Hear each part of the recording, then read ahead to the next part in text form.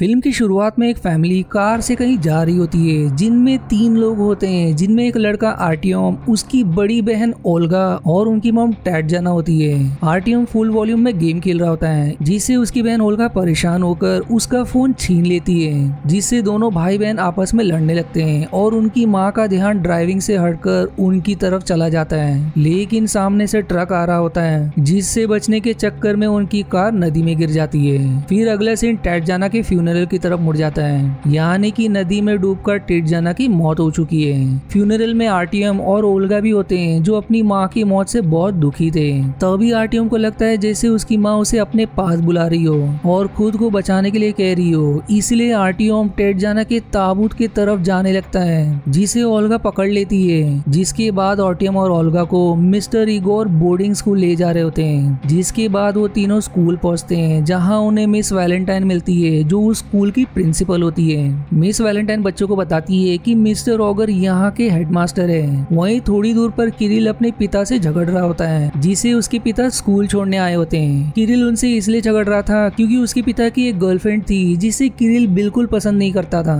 थोड़ी दूर पर हमें एक और स्कूल स्टूडेंट दिखाई देता है, जिसका नाम एलिसा होता है और वो अपनी माँ के साथ आई होती है। एलिसा की बातों से पता चलता है कि वो मिस्टर ईगर पर लट्टू है। वो मिस्टर ओगर को देखती है, जो ओलगा और आरटीएम को स्कूल के अंदर ले जा रहे होते हैं। एलिसा उनके पास आती है, जहाँ मिस्टर ओगर एलिसा को बताते हैं कि ओल्गा उसकी क्लास में एडमिशन ले रही है, जिस पर एलिसा कहती है कि अगर ओल्गा चाहे तो उसके रूम में रह सकती है, जिसके बाद वो अपना रूम नंबर बता के वहाँ से चली जाती है। जिसके बाद मिस्टर वैलेंटीना आती है, जो बच्चों को स्कूल दिखाती है और बताती है कि ये स्कूल हाल ही में खुला है। लेकिन ये बिल्डिंग काफ़ी पुरानी है, इसलिए स्कूल के कुछ हिस्सों में जाने से दोनों बच्चों को मना करती है, जहाँ कुछ मरम्मत का काम चल रहा होता है। फिर तभी आटम को उसकी माँ की आवाज़ सुनाई देती है और वो आस देखता है, जहाँ एक मिरर में उसे किसी लेडी की परछाई दिखाई देती है। लेकिन पीछे मुड़ने पर वहाँ कोई नहीं होता, पर मिरर में अब भी परछाई मौजूद होती है। इधर मिस वैलेंटीना ओल्गा से कहती है कि उसे अपने भाई के साथ रूम शेयर करना होगा, जिस पर ओल्गा कहती है कि वो आरटीएम के साथ नहीं रहेगी।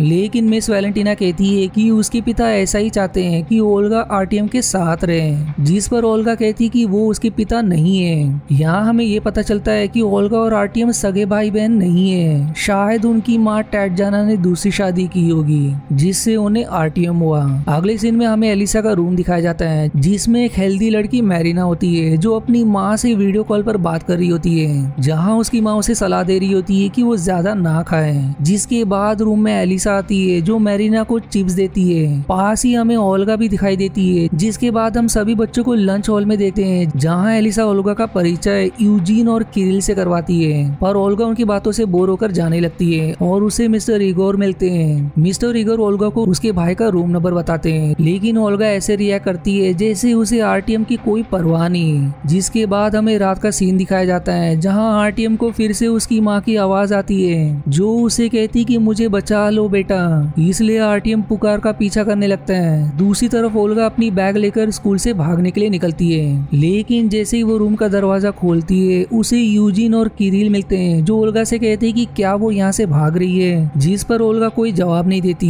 किरिल उससे कहता है कि वो कुछ ड्रिंक करने के बाद यहाँ से जा सकती है, जिसके बाद ओल्गा रुक जाती है और वो लोग ड्रिंक करने लगते हैं। एलिसा कहती है कि अगर ओल्गा यहाँ से भागना चाहती है तो वो दिन में जा सकती है, क्योंकि दिन में एक ट्रक राशन लेकर आता है और राशन का सामान उतार कर चला जाता है। उसी ट्रक में छिपकर ओल्गा यहाँ से जा सकती है। दूसरी तरफ़ आरटीएम अब भी आवाज़ का पीछा कर रहा होता है और वो उसी जगह पहुँच जाता है जहाँ जाने के लिए मिस वैलेंटीन ने मना किया था।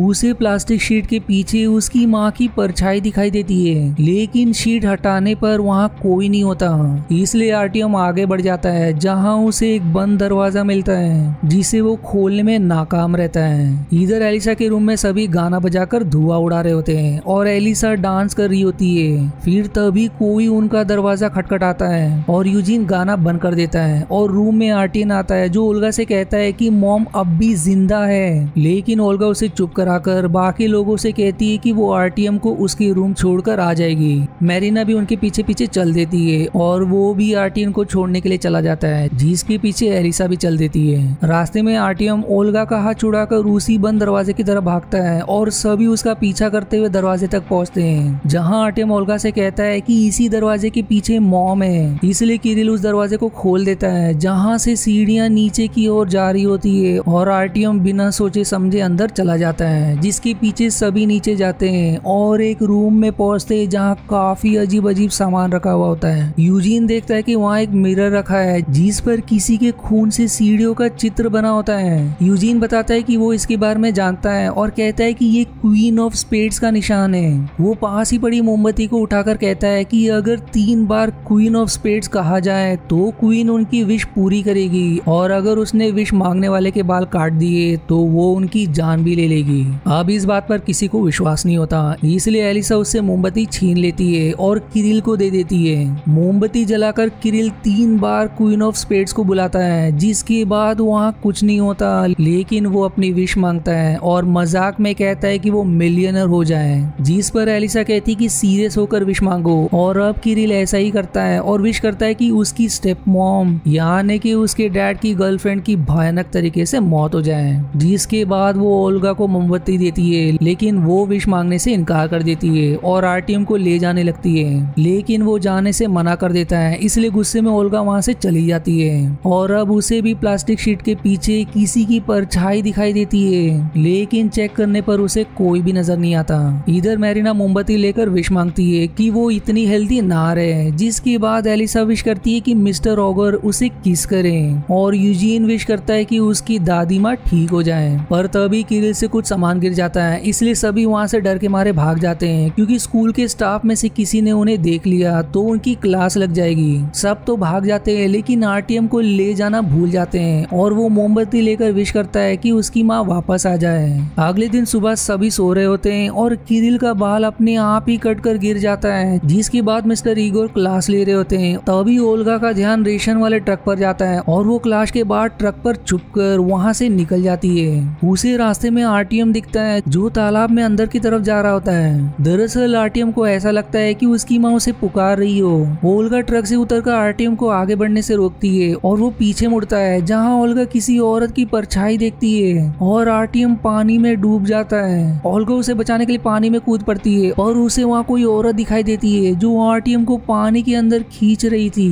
तभी मिस्टर ईगोर पानी में उतरकर आरटीएम को बचाते हैं, जिसके बाद हम किरिल को देखते हैं, जो अपने पिता को वीडियो कॉल करता है, जो नशे में धूत और काफ़ी डिप्रेस दिख रहे होते हैं। वो उसे अपने गर्लफ्रेंड की लाश दिखाते हैं और बताते हैं कि सेफ़ का पासवर्ड किरिल का जन्मदिन है, और ऐसा कहकर वो खुद भी अपनी जान ले लेते हैं। जिसके बाद हम ओल्गा को देखते हैं, जिसके पास यूजीन आता है, जो उसे पूछती कि उसे पानी में जो औरत दिखाई दी थी, क्या उसके सर पर कोई बाल नहीं थे? बाहर जाने पर उन्हें पता चलता है कि किरिल की स्टेप मॉम को मारकर किरिल के डैड ने खुद की जान ले ली। यूजीन ओल्गा से कहता है कि ये सब क्वीन ऑफ़ स्पेड्स कर रही है, जिसके बाद यूजीन और ओल्गा इंटरनेट पर इस प्रॉपर्टी के बारे में रिसर्च करते हैं, जहाँ पर उनका ये स्कूल मौजूद है। और उन्हें ये पता चलता है कि ये प्रॉपर्टी 19वीं शताब्दी की है, और इसकी मालकिन ने 19 बच्चों को पानी में डुबोकर मार डाला था, जिसके बाद हमें फ्लैशबैक में चीज़ें दिखाई जाती है कि वो जब एक बच्चे को पानी में डुबोकर मार रही थी, तभी वहाँ गाँव के लोग आ गए थे।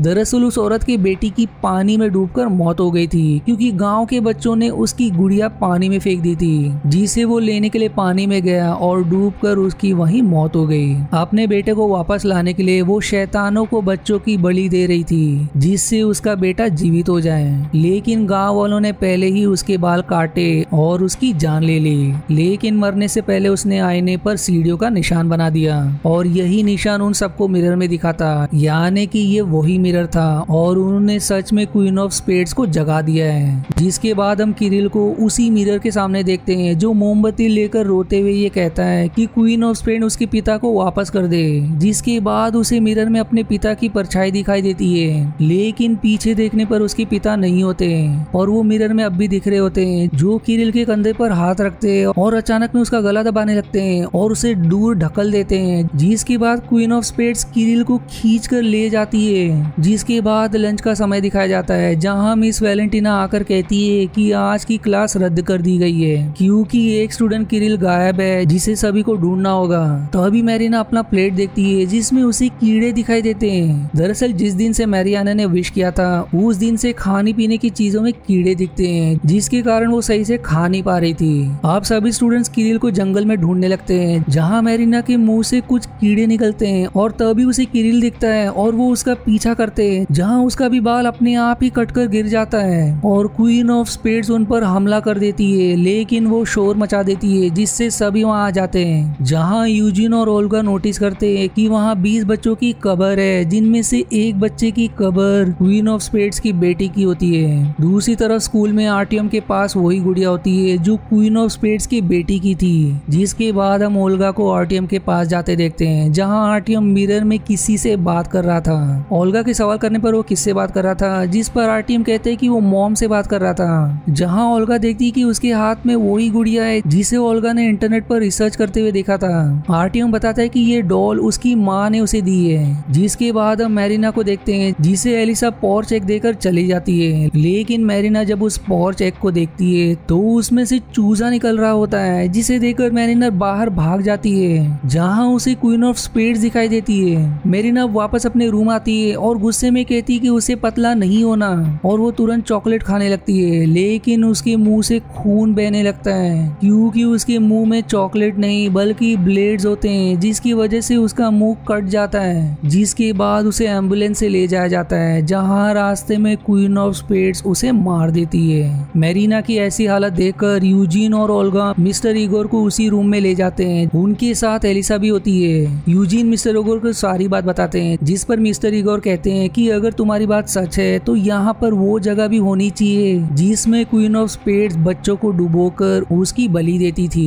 तभी ओल्गा नोटिस करती है कि वहाँ की फर्श थोड़ी उठी हुई है। जब सभी मिलकर लकड़ी से बनी हुई फर्श को हटाते हैं तो उन्हें पानी में किरिल की लाश मिलती है, जिसके बाद ये मामला पुलिस में जाता है और स्कूल कुछ दिनों के लिए बंद कर दिया जाता है, जिससे सभी बच्चों के पेरेंट्स आकर उन्हें स्कूल से ले जाते हैं। जिसके बाद एलिसा मिस्टर इगोर को देखती है, वो उनसे कहती कि उसे भी अपने साथ ले चले। तभी आरटीएम भागकर स्कूल के अंदर चला जाता है, जिसके पीछे पीछे ओल्गा और यूजीन भी जाते हैं। मिस्टर इगोर एलिसा को वहीं रुकने का कहकर खुद भी अंदर जाते हैं। अंदर यूजिन पर क्वीन ऑफ़ स्पेड्स हमला कर देती है और बाहर बारिश होने की वजह से एलिसा कार में बैठ जाती है, जहाँ उसे कार के बाहर मिस्टर रिगोर दिखाई देते हैं। लेकिन वो अचानक से गायब होकर कार के अंदर भी आ जाते हैं और एलिसा को किस करने लगते हैं और किस करते करते उसकी जान ले लेते हैं। दरअसल ये क्वीन ऑफ़ स्पेड्स होती है, जो मिस्टर इगोर के रूप में होती है। वहीं स्कूल के अंदर यूजिन खुद को उसी जगह पाती है, जहाँ क्वीन बच्चों की बलि देती थी। उसे आगे जाकर उसकी दादी दिखाई देती है, जो हॉस्पिटल बेड पर होती है और देखते ही देखते वो अपना दम तोड़ देती है। यूजिन बहुत रोने लगता है कि तभी वो क्वीन ऑफ़ स्पेड्स में बदलकर यूजिन की जान लेने लगती है। फिर हम मिस्टर इगोर और ओल्गा को देखते हैं, जिनके सामने आरटीएम खड़ा होता है, जो मिरर की तरफ़ देख रहा होता है। मिस्टर इगोर बताते हैं कि अगर अपनी विश को रिजेक्ट कर दिया जाए तो ये सब बंद हो जाएगा।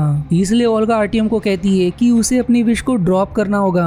लेकिन आरटीएम ऐसा नहीं करता और queen of spades, mister Igor और ओल्गा पर हमला करके आरटीएम को पानी में डुबा देती है, जिसके बाद वो गायब हो जाती है और ओल्गा आरटीएम को बाहर निकालती है, जहाँ उसे मिरर में आरटीएम क्वीन के साथ जाते हुए दिखता है। तभी वहाँ यूजीन भी आता है और ओल्गा को कहता है कि आरटीएम को बचाया जा सकता है। अगर कोई मिरर वर्ल्ड में जाके उसे वापस ला सके, वो ये भी बता दे कि वो अभी भी मिरर वर्ल्ड से बचकर बाहर आया है। जिसके बाद ओल्गा कहती है कि यूजीन उसे पानी में डुबा दे और जैसे ही उसकी सांस रुकेगी, वो टाइमर स्टार्ट करके ठीक आठ मिनट से पहले उसे सीपीआर दे, क्योंकि ये ठंडा पानी है जिसमें आठ मिनट तक उसका ब्रेन ज़िंदा रहेगा। जितने समय में वो वापस ज़िंदा हो सकती है। यूजीन अब ऐसा ही करता है और इससे ओल्गा मिरर वर्ल्ड में पहुँच जाती है जहाँ उसे किरिल, मेरिना और एलिसा की आत्माएँ दिखाई देती है। वो आरटीएम को एक कार में देखती है और खुद भी कार में बैठ जाती है और उसे साथ चलने को कहती है। लेकिन आरटीएम कहता है कि ओल्गा उसे प्यार नहीं करती, जिस पर ओल्गा उसे समझाने की कोशिश करती है कि ऐसा नहीं है। तभी कार का दरवाज़ा अपने आप बंद हो जाता है और ड्राइवर सीट पर उनकी माँ के रूप में क्वीन ऑफ़ स्पेड्स दिखाई देती है। मिरर वर्ल्ड के बाहर मिस्टर इगोर को होश आ जाता है, जिन पर यूजिन वार करने लगता है और बताता है कि क्वीन ऑफ़ स्पेड्स ने उससे डील किया है कि अगर वो ओल्गा को मिरर वर्ल्ड में भेज दे तो वो उसे ज़िंदा छोड़ देगी और उसकी दादी भी ठीक हो जाएँगी।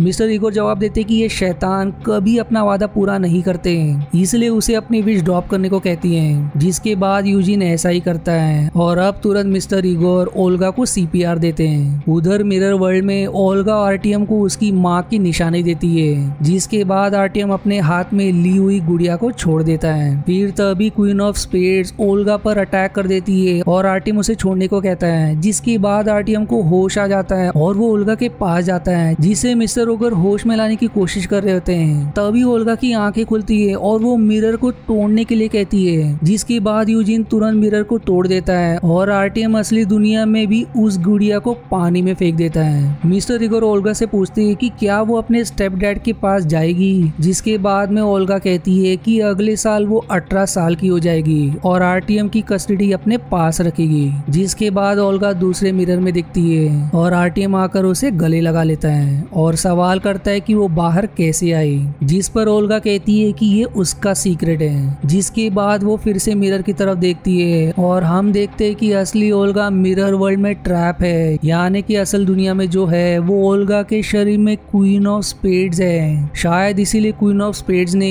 यूजिन से डील करके ओल्गा को मिरर वर्ल्ड में फंसाया, जिससे वो ओल्गा के शरीर में असल दुनिया में आ सके, और इसी के साथ ये मूवी यहीं समाप्त हो जाती है। आशा है आपको मेरी एक्सप्लेनेशन पसंद आई। यदि हाँ तो प्लीज़ वीडियो को लाइक करना और चैनल को सब्सक्राइब करके सपोर्ट करना ना भूलें। मिलते हैं अगले एक्सप्लेनेशन वीडियो में। तब तक के लिए धन्यवाद दोस्तों।